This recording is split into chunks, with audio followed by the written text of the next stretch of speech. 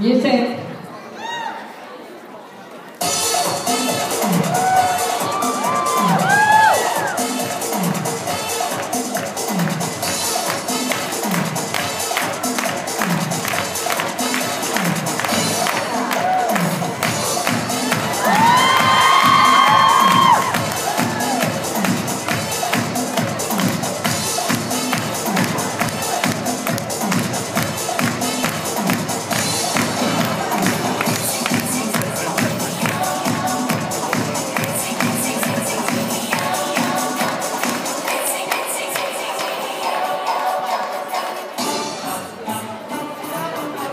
She was afraid to come out of